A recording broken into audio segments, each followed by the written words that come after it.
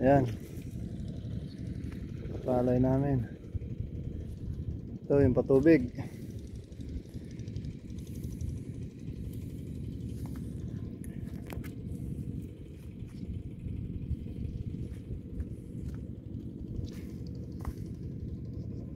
Ang daming buhangin. Ang daming buhangin na ano, linabas ng ano, patubig.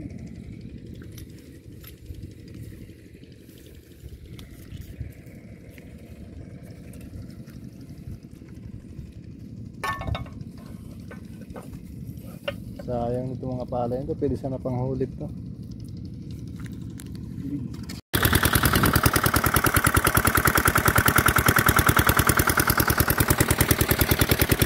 Ito yung patubig namin, medyo malabo pa.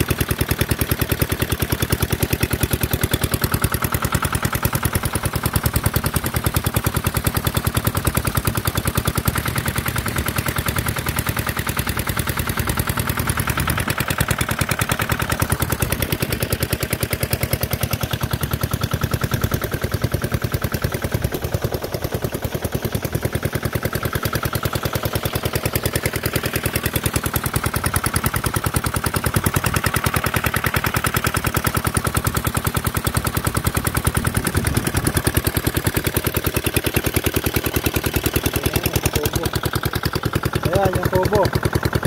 Malapit lang.